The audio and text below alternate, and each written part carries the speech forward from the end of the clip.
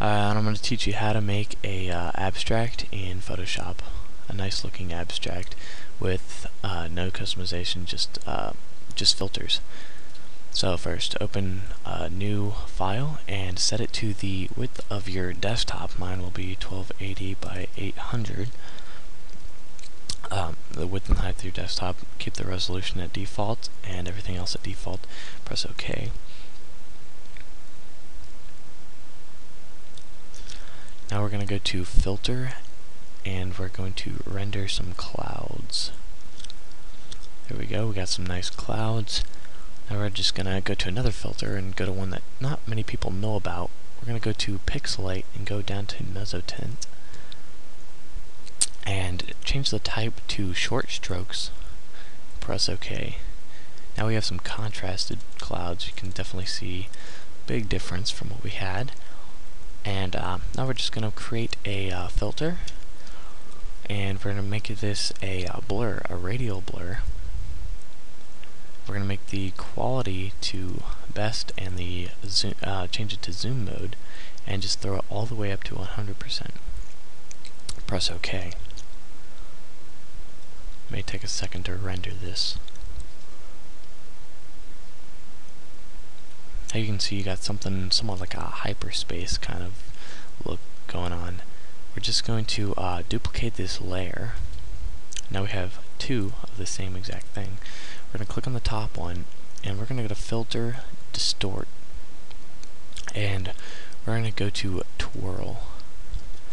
And we're going to set it to the angle to about 75 uh, positive. Positive 75, I'm just going to type that in there. I got 75 positive. And uh, we're going to just change this mode over to a screen. You can see something starting to go on already. Now just press Control U and bring up the hue and saturation for this layer. And we're going to click on this little colorize box in the bottom right. And now you can see that we can uh, change the color of this layer, this screened layer. So let's make this a nice blue. Press OK. Now we're going to do something similar to the bottom layer. We're just going to click on the bottom layer, go to Filter, Distort, and we're going to twirl this layer. But this time we're going to do a negative 75 degrees. So just put a little minus sign in there or drag it to the left. Now you can see that we got almost matching up but in opposite directions of this uh, same uh, zoomed twirl. So now all we have to do is press Control U on this layer, and maybe we'll change this, uh, press Colorize, and we'll change this maybe to a nice red, saturated a bit. And you have a decent looking photo right there. You can also click on this top layer and change the uh, mode up. There's several different things that'll look cool. Screen is my personal fave but there's a lot of things that'll work and you can change the colors up brightness and contrast make them look a little nicer here and there.